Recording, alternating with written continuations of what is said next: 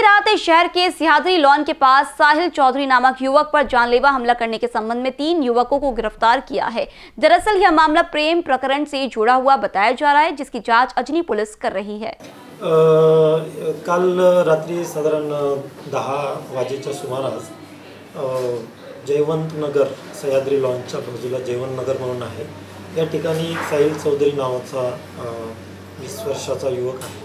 त्याच्यावरती काही अज्ञात हल्लेखोरांनी चाकूने आणि काही ब्लंट ऑब्जेक्टनी हल्ला केल्याबाबत माहिती प्राप्त झाली.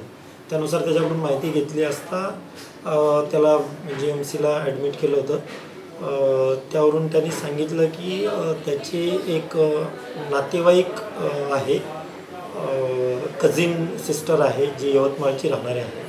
तिच्याशी त्याची मैत्री असल्याच्या कारणावरून तिचा जो दुसरा मित्र आहे त्यांनी त्या त्याला आक्षेप असल्याकारणाने त्यांनी हे कृत्य केलेलं आहे असे त्यांनी सांगितले आहे. त्या अनुषंगाने आपण जरी अजनी पोलीस स्टेशनला तीनशे सात चौतीस प्रमाणे गुन्हा दाखल केलेला आहे.